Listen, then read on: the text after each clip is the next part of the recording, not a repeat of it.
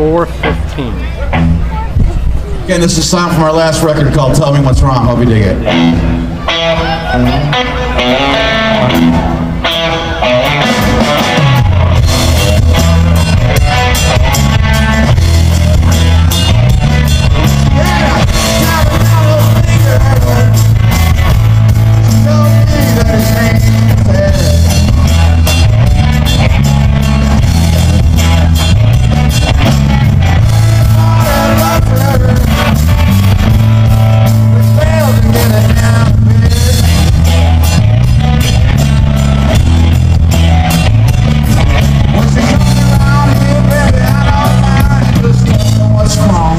Loving that girl?